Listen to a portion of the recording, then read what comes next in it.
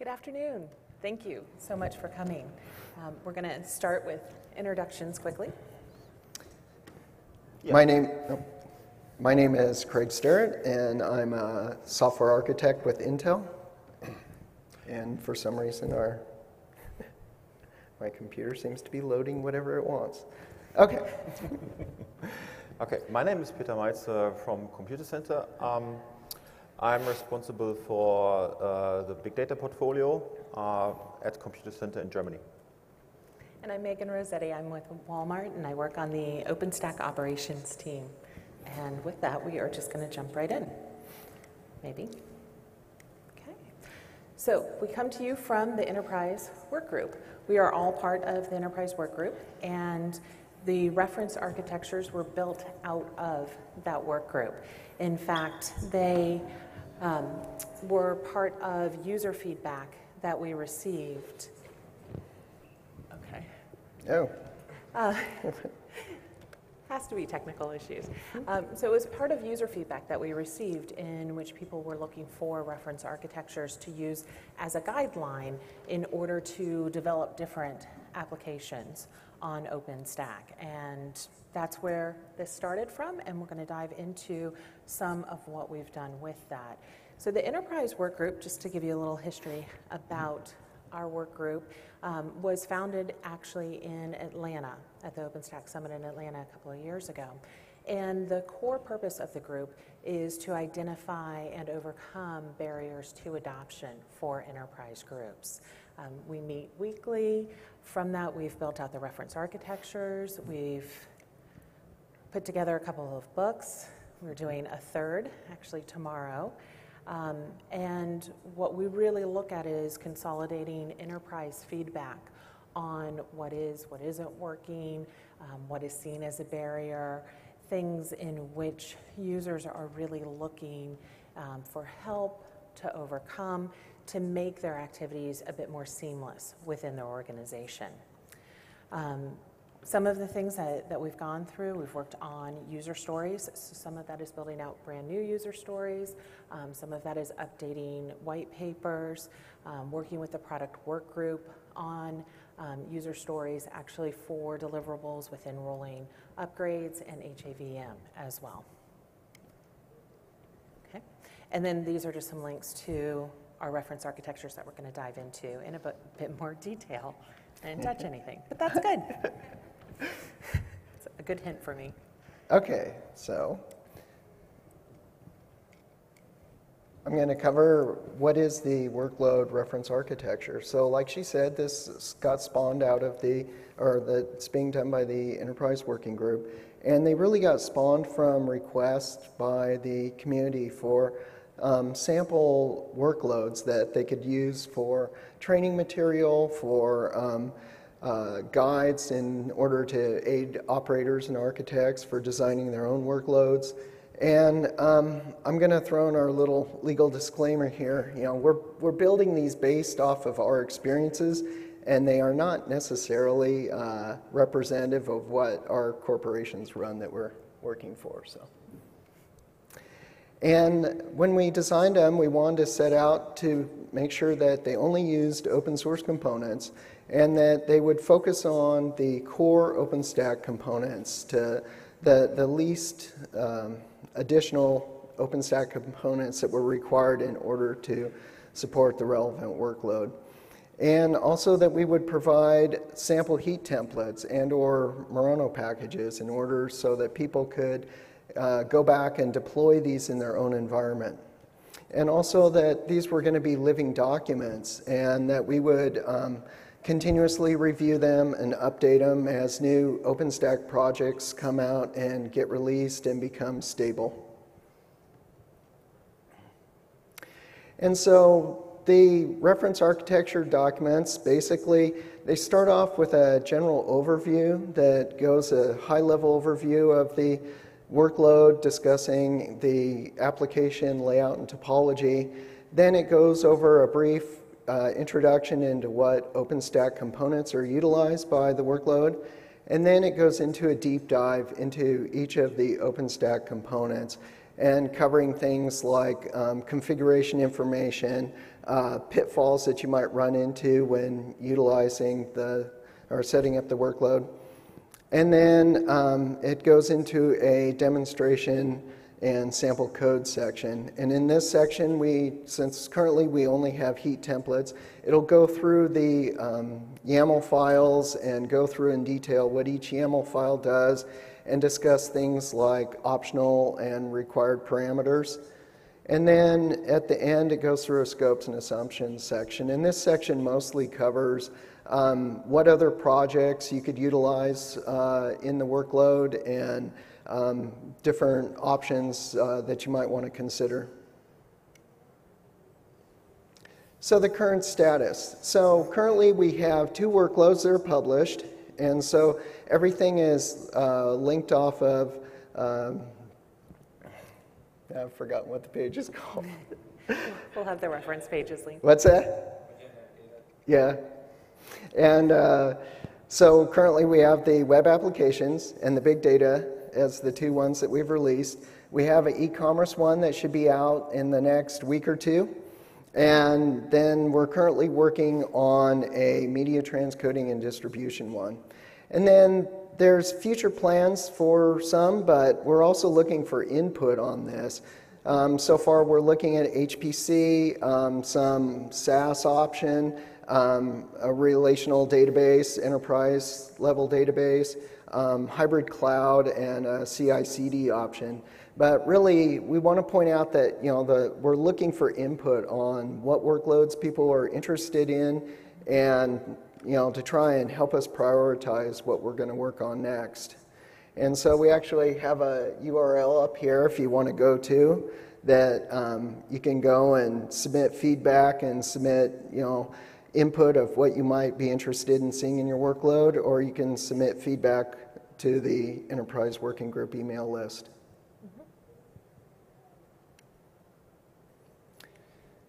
So, the web applications, this was the first workload that we worked on. And so, we um, based this on a LAMP stack, um, um, largely because LAMP still seems to be come out in the user study as one of the top stacks that's being run on OpenStack. And so we wanted it to be a standard three-tier web architecture, so have a, a web layer, an application layer, and a database layer. Uh, we wanted to make sure that it included some security, so firewall, basically security groups filtering traffic at each of the layers. Um, we wanted to make sure that we included load balancers both at the web tier layer and the application tier layer, and then also that it would uh, support on demand scaling and have persistent storage for the database. And basically, this is how it looks on the when it sits on top of OpenStack. And so the user requests come in and they pass through a load balancer, so it's a Neutron load balancing as a service, and then passes into the um, web layer, which is uh, an auto scaling group of servers with a web security group uh, assigned to it that does port filtering to allow just web based traffic to go through. And then um, from there, it goes through a second load balancer that distributes the traffic amongst the active application nodes. Again, this layer also auto scales and also has a security group applied to it to filter the incoming and outgoing traffic. And then from there, it goes into a database layer, and this layer is static, where we have a master slave setup and we have database files sitting on uh, block storage. And then in addition, we have the option for uh, Swift storage to support database backups. All right, e-commerce. Switch over. Sure. All right. So on the e-commerce side, we wrote it to describe three main layers the web layer, the service layer, and then the database layer as well.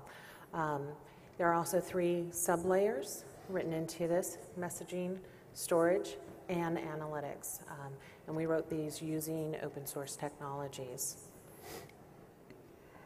just to give you an idea. Oh. The messaging layer is the API for each service. Um, storage layer, persistent storage using Cinder, analytics layer. E-commerce uses a lot of big data, and there needs to be a lot of criteria for volume, variety, um, a lot of push-pull on the e-commerce side, um, both online and offline business interactions as well.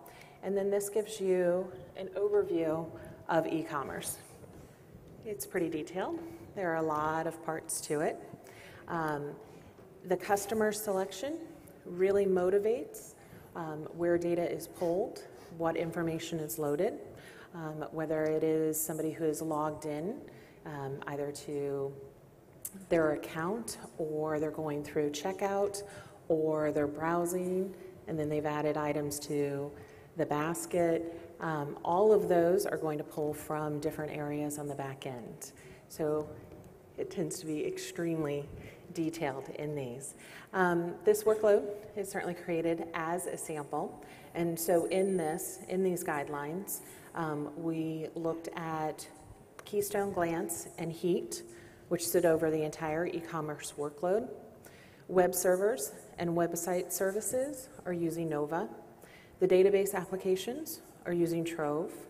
The image store is using Swift. The messaging layer uses Zaqar. Applications cluster, which is attached to messaging, uses Sahara. And then persistent storage is using Cinder. Peter? Thanks, Megan. Okay, big data is next. Um, before I start, I want to give you an introduction why we started this uh, reference architecture. Um, we had, um, as Greg pointed out, feedback from our customers, what they need for fulfilling their projects, their requirements.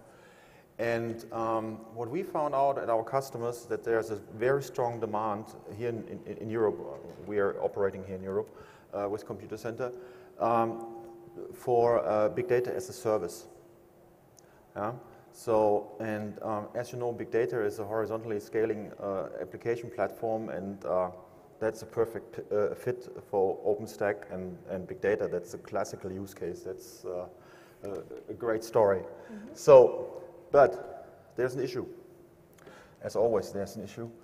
Um, there's um, uh, uh, some, some know-how about OpenStack in the companies, and there's somehow, some know-how about big data in the companies. But uh, they, they do not come together. They, they're not teaming. Uh, uh, either the one or the other is too complicated.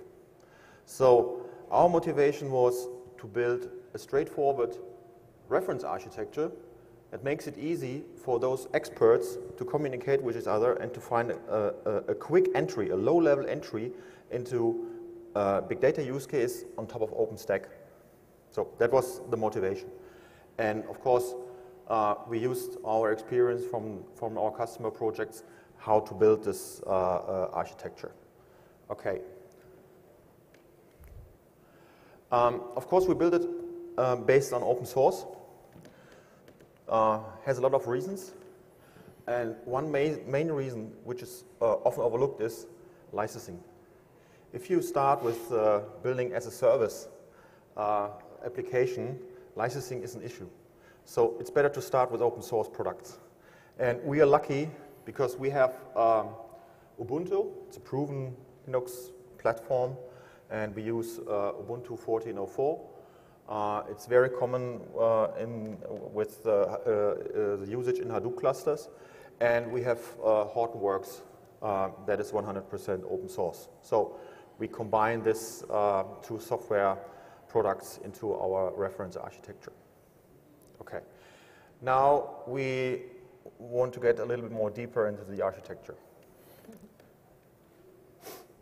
I have only two slides, so I, I will learn it. Okay. Um, first of all, this is a little bit new, I think, for most of you probably. Um, but um, uh, a Hadoop cluster is made of several nodes. But these nodes are not unique. They have several roles in the, in the Hadoop cluster. And uh, the first step we took was we, we, we uh, divided them into several groups. So, for example, we have edge nodes, uh, and they have a special um, workload. Um, these nodes are specially made for giving access from clients uh, or, or uh, applications into the uh, Hadoop cluster. Then we have utility nodes, um, which is not on the screen because it's not in this, uh, uh, in, the, in, this, in this version. Um, this, this, they can be used for anything. They can be used for Kerberos, they can be used for, uh, uh, let's say, a repository, software repository. Um, uh, if you have to keep in mind that if you want to uh, use Ubuntu or Hortonworks, you need to have the software. Either you can get it out of the internet, uh, or you have a local repository, you, so you can use, uh, for example, um, such um, a utility node as a repository. And you have the data nodes, most common, and so-called master nodes, where the central services are located on. So, and surrounded is this by networking.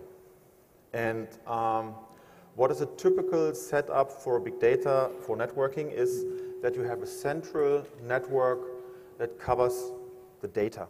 So um, all the nodes of the big data cluster are in one network. And this network is isolated from the enterprise network. Why is it so? Because of security reasons. Um, the Linux image used for a Hadoop cluster often does not match to the Linux image used in the enterprise. Um, Hadoop, well, security in Hadoop is a special thing. So um, this is one reason. The other reason is if one of the nodes fails, data starts to be replicated. And you want to keep this replication in, in, in, inside of the network of the Hadoop cluster. So um, there's one network. And of course, what you need to access the data uh, in the Hadoop cluster, you need something uh, special that's the edge node. And when we look at, here, here's the user, user interface, and he's accessing the, the cluster through an, an edge network, uh, and he can access the cluster here um, through this network. So we have uh, an edge network that um, shows us the, the, the, connection into the enterprise IT. Then we have a data center network, a data network that covers the, the, the network uh, just for um, um, um, moving the data into the cluster back and forth. And then we have another uh, uh, network called management network to do all the administrative stuff. And then we have something here, object store. Here there's an extra network because uh, what we found out is that customers start to use object storage as their data lake. So they put a lot of their data into an object storage layer. Could be anything. Um, could be could be Swift too, um, but um, one dominant way to access this is through S3. So um, Hadoop naturally is, is uh, uh, um, can access the S3 layer. So um, it, it, it is a, logical way to store some data on the, onto the S3 object storage layer and accesses directly from uh, the Hadoop application. So um, we put in um, an extra network that accesses such an object storage. Okay. Um, to sum it up, um, we just released version 1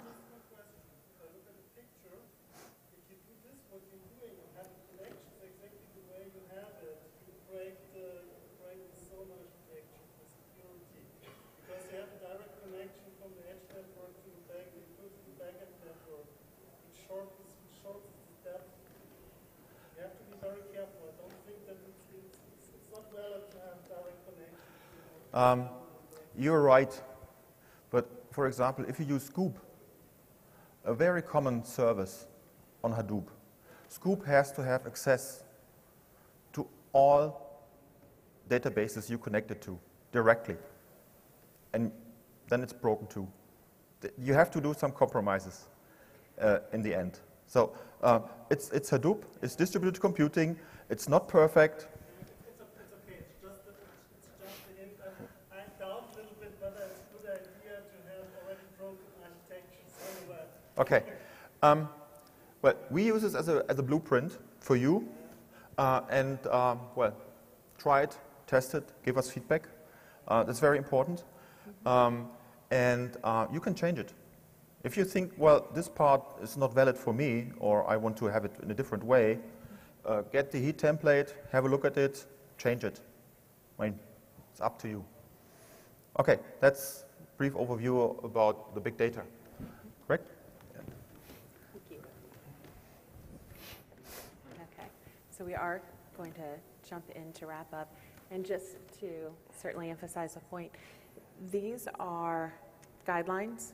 They are living documents. So through different feedback, through different release cycles, they will be continuously updated. Um, which is, is going to be interesting. And that's also part of why uh, we need help, without question. Um, the Enterprise Work Group certainly wants people's feedback. We want to know literally what do you think of these architectures? Is this something that you want to see more of? Do you want to see more detail, less detail? Um, is it something that you want us to expand off of? Um, we went through some of the ones that we have in the pipeline. Are there others that you would prefer to see? Um, where do things stand? Did they start out as good guidelines? Um, your feedback in that worked, but I'd like to see more on the security settings. I'd like to see more on um, what if you were to use this project in it, or are there other areas that it's applicable? Um, we would love people to definitely get involved. We, the Enterprise Working Group and the Reference Architecture Working Group actually meets weekly. You can join the mailing list for the Enterprise Group, which this resides under, um, and then also the meetings as well. Um, the, we do have a code for the slides, so you can download those at any point. Um, and we do have a tiny URL for, and it is small, it's only a few questions, but we'd really like your feedback to know is this, are we on the right track? This is what we've taken from um, users, and this is from information that we've been, been asked for. Um, and it is a start, and with feedback, it will get better and better each process. And then we do have the sample configs link in the middle, um, and that is for the reference architectures that are currently published, and that's also where the reference future reference architectures will be published as well. I guess one thing to note that the heat templates, they're published in the OpenStack application catalog. So if you want to download the heat templates, you'll find them all there. And they're also linked out of the uh, reference architecture documents. So Yes, thank you. That is a good point. Um, so that is where we currently stand on reference architectures, and be happy to get into any type of questions or feedback. I I have a question. Okay. Reference architectures are fine, and uh, because they are, they- they do really solve the global problem. What do you also think about um, building blocks, maybe also in the reference architecture? Because I have one in mind, which is a very, very straightforward one, which you usually need is the building block about logging. Uh, a central logging, because it's, it's something you have to, to build a certain infrastructure on. You need even most of the things that you had on the, on the slide. So I'm gonna, I'm gonna jump in really quickly. We do have a mic, if you don't, Okay. right, and no one Okay, picked up. Thank again, you. so the, the question is, uh, a a reference architecture is really a complete part of a landscape, but sometimes you have building blocks which, you ha- which, which these enterprise archi- architectures consist of, but these building blocks occur in multiple of these architectures. And the example I brought, uh, I I brought up is the, the classic logging infrastructure. You want to have these, these ELK stacks somewhere, somewhere installed. And this is a classical example of building block where you make a reference architecture and show how it has to be established, but it's not a complete one in the sense that it is a complete uh, business thing. Have you already thought of something like this, or is this uh, a new thought in your, in, in your context? Of adding in the centralized logging to what we have or doing a reference architecture doing on? doing the reference architectures more on uh, not only on this on this overall, but having also building blocks that you can pick out and and combine it to new reference architectures. Well, actually, the big data reference uh, um, is kind of uh, built on that principle because this is the version one. Um, as I told you, the connection to the object store is not existing at, at this point. Um, what is also missing? Kerberos authentication, for example. Uh, it's, it's not in there so far, but it's used in most uh, enterprise environments. It's coming uh, into the architecture uh, at a later point in time with the next version. Um, but we have the utility node. It's prepared for something like that. So you can use Kerberos on a utility node in the big data reference, but you could also use it for something else. You could use a repository, a local repository for deploying software, Ubuntu or Hortonworks, into the big data reference, but you also can use it for anything you want. Uh, this will be added, for example, into that reference. And then, then you can start picking it and say, okay, I, I like it, I don't want it, I don't need it, or yeah, great. Uh, it's a great idea. Uh, maybe I do it some a little bit different, but um, I think that's that's that's one thing you want to point out that that it's it's more module, it's more of, of building blocks. Do you need the mic again?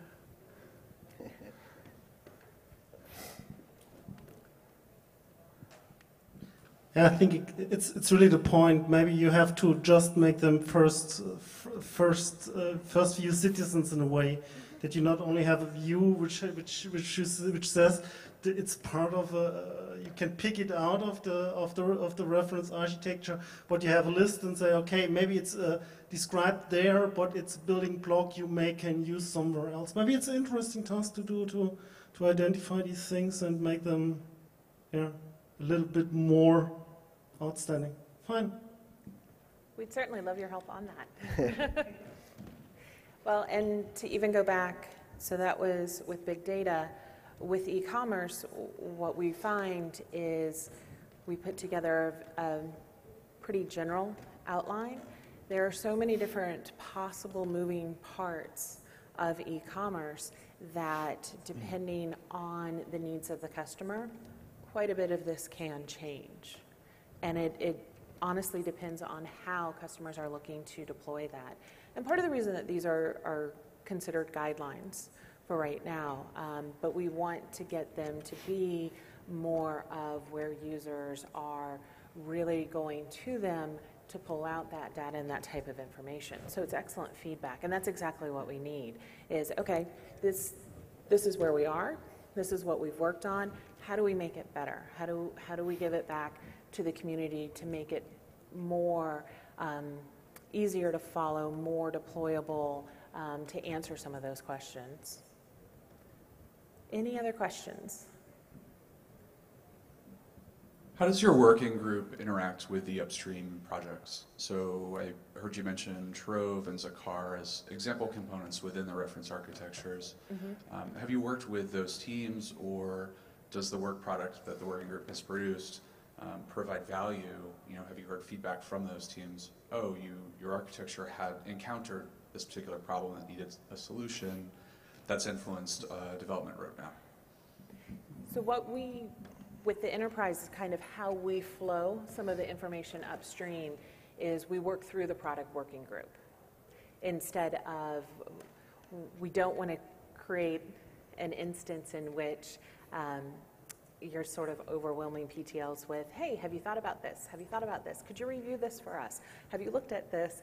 So we're trying to keep that um, kind of continuous process of taking in user feedback and creating user stories, um, especially cross projects, and feeding that through the project working group to make sure that there's a consistent process into the technical community.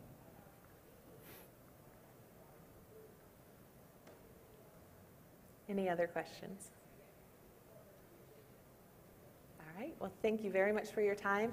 And I'll bring up the tiny URL again because we would really, really like your feedback. Thank you, guys.